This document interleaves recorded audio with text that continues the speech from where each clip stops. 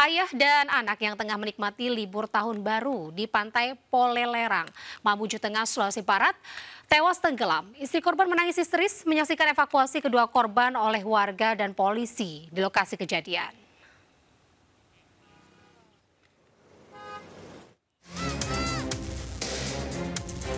Warga dan petugas langsung melakukan penyelamatan saat ayah dan anak tenggelam di sapu ombak yang ganas di pantai Polo Lereng, Desa Lamba-Lamba, Kecamatan Pangali, Mamuju Tengah, Senin pagi. Istri korban hanya bisa menangis histeris melihat suami dan anaknya tenggelam terseret gelombang. Polisi dari Polsek Pangali dibantu warga dengan menggunakan perahu nelayan kemudian melakukan pencarian korban. Kedua korban berhasil ditemukan dalam kondisi tewas. Jasad kedua korban kemudian dibawa ke puskesmas terdekat. Korban Sugiono 47 tahun dan anaknya Zulfikar 12 tahun tengah asik berenang di laut.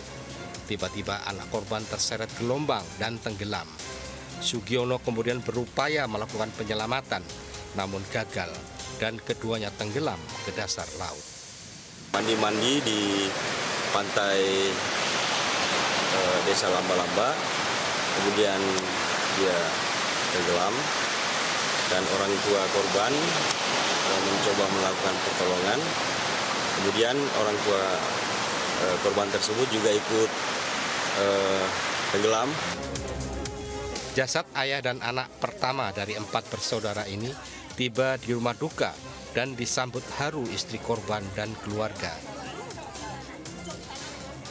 Saat dimandikan, istri korban pingsan dan harus dibopong ke dalam rumah. Setelah disolatkan, jenazah korban kemudian dimakamkan di pemakaman umum desa setempat. Dari Mamuju Tengah, Sulawesi Barat, Wahid Ainus melaporkan.